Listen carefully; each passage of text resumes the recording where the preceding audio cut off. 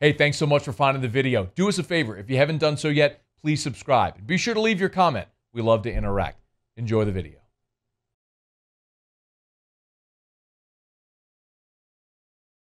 The gigantic news, both literally and figuratively, is that uh, Saints offensive tackle Ryan Ramczyk is now the highest paid right tackle in the NFL. You might recall back in 1991, maybe you don't, but Rally's had a commercial with a young child actor, Seth Green, at the time, who was working the drive through and he kept saying this Cha-ching. over and over again. They actually brought Seth Green onto the field for a Saints game that year to lead the Ching. cha-ching chant. Well, we can bring back the cha-ching chant Cha-ching. because Ryan Ramczyk is going ching ching all, all through town. Are you kidding me?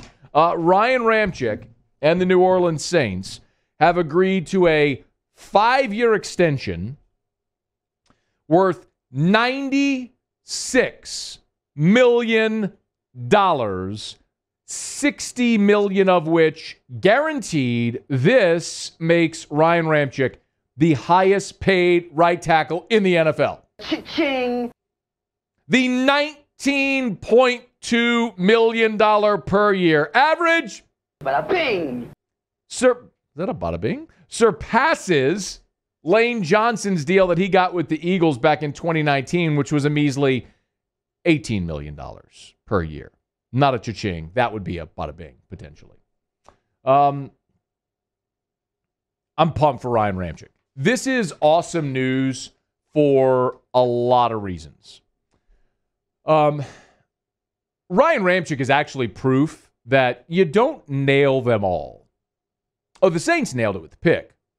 Sort of. My draft take in 2017 when the Saints picked Ryan Ramczyk, was why the hell are you using your second first round pick on an offensive lineman? If you remember, that was the pick they got after they traded Brandin Cooks, a former first round pick. So they acquired the last pick in round one, but you had Terron Armstead and you had Zach Strief, and they used that pick to draft another lineman, a guy that wasn't going to play right away when they desperately needed defense.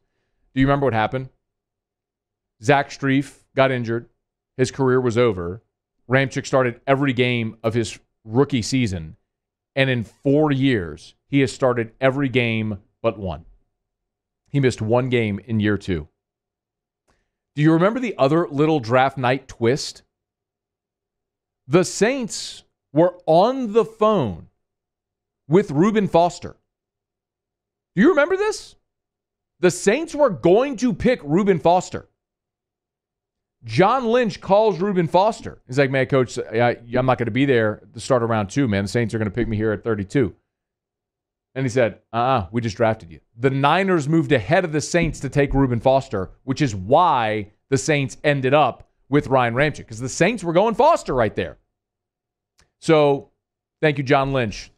There's a bottle of wine in the mail for you and a Christmas card. If you don't recall, Reuben Foster played just two years in the NFL, 16 total games in his career. Ramczyk has played now in all but one game over four seasons. Uh, this is phenomenal news for the Saints. It's in no way unexpected.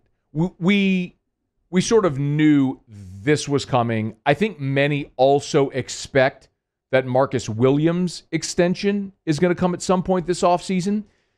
Had Marshon Lattimore not run afoul of the law, he likely would have gotten his extension this offseason as well. That might be a little bit on the back burner now as we wait and see. But you lock up the NFL's premier right tackle for the next five years.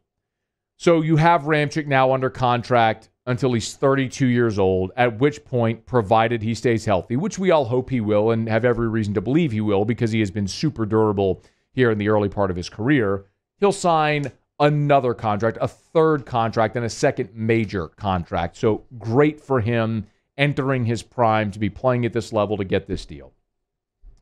It's also significant because this solidifies your offensive line with a new starting quarterback. Obviously, you want your pillars, you want your all pro tackles in place. And the Saints now have that with Terron Armstead at left tackle and obviously Ryan Ramczyk at right tackle, protecting whoever might be behind the two of them, most likely, of course, Jameis Winston. As I mentioned, Ramczyk has been durable, missing just one game in his NFL career. And maybe most importantly, right now, anyway, is that this is going to free up cap space for the Saints to do what we have all been waiting for them to do. And maybe you're saying, how in the world can this free up cap space when you sign a guy to a $96 million contract with 60 million of it guaranteed? Well, that's where Khai Harley and his crew come into play, and he's brilliant at massaging the cap. And we just know that right now to be fact because we've seen him do it so many times. But I'm oversimplifying it. You tear up the old deal, you sign him to this new deal.